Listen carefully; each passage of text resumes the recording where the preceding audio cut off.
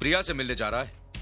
अब तो किसी से नहीं मिल पाएगा, क्योंकि तुझे यहाँ धोखे से मैंने बुलाया है।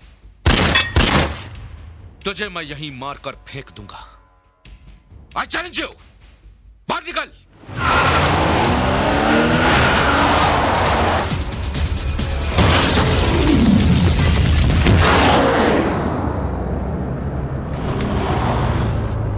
दादी, ये तो टार्जन है। लेकिन ये यहाँ कैसे आ गई?